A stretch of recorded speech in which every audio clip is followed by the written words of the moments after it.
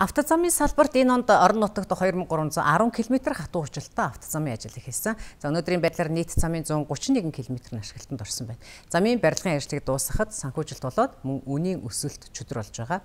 За эх хонд шинээр хөрөнгө оруулалт эхлэхгүй харин хуучин төслүүдэд дуусгахаар төлөвлөж байна. Жишээлбэл Улаанбаатар дархан чиглэлийн замын бүтээн байгуулалт энэ онд замын зорчих хэсгийн нэг игнийг нээж дуусгах хүлээлттэй. Өнөөдрийн байдлаар энэ замын 5 багц хэсгийн барилгын ажлын гүйцэтгэл 61.8% тавина. 10 дугаар сарын 30 гэхэд дархан Улаанбаатар чиглэлд автомашинаар зорчих иргэд шорон замаар явахгүйг албаны хүн ярьлаа. Өнөөдрийн байдлаар ойролцоогоор нэг 10 км зам үлдээд асфальт хүчлэлт авч байгаа. Энэ сарын 30 гэхэд бид нар хөдөлгөөнийг нээх төлөвлөгөөтэй ажиллаж байна. Харин улаастай Тосон цэнгэл чиглэлийн 67 км зам, Чингис Бэрх чиглэлийн 50 км, Далан жаргалан Бор өндөр чиглэлийн 50 км зам энэ онд бүрэн ашиглалтад орлоо. Харин Говалтай аймгийн Эвийн гол, Хинтээ аймгийн Онон гол, Дорнод аймгийн Дашбалбар сумын Улц гол, Чулуун Хороот сумын бетон гүүрний барилгын ажил мөн дуусжээ.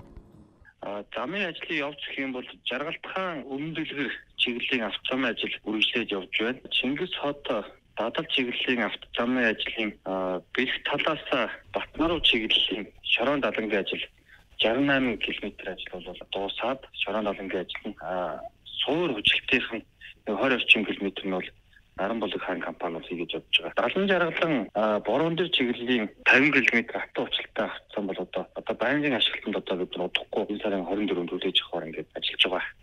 Одоо завхан улаастай тусан чиглэл чиглэлийн 67 км хатуучилтаа авцсан. Энийг бол Азийн хөгжлийн банкны 28 сая долларын санхүүжилтээр одоо Хятадын 4CC гэж компани бол ерөнхий гүйцэтгэгчээр ажиллаж ингээд хүлээлгэж өгөөд явж байгаа.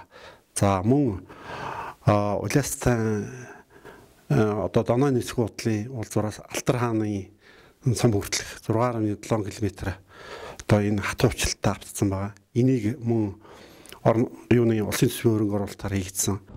За Монгол улсад уг нь энэ онд 2310 км замын барилгын ажил эхэлсэн. Гэвч санхүүжилтгүн улмаас зарим төсөл хугацаанд баригдааг байна. Банкуд зээл олохгүй байгаа учраас гүйцэтгэгч компаниуд гарцаагүй байдалд орсныг салбарын амнаас тайлбарлаж байна. Иргэжил шинэ хөрөнгө оруулалт байхгүй.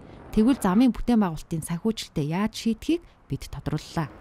За иргэжлийн тухайд бол томоохон Азийн хөгжлийн банк, Европын цэргийн босголтын банк дэлхийн банкнуудаас бол зээлэр бид бол нэлээд томоохон замуудыг одоо замуудын ажлыг эхлэхээр төлөвлөж байна. За улсын төсөв дээр бол замуудаа үргэлжлүүлээд явна. Энэ онд нийт 10 төсөл он дамжин хэрэгжиж байна. Авто замын салбар дотоодын зах зээлээс 45 тэрбум төгрөгийн бараа материалын худалдаа авалт хийсэн тооцоолол бий. Иргэжлээс хөлийн бомбд чиглэсэн бүтээн байгуулалтын ажлыг эрчимжүүлнэ.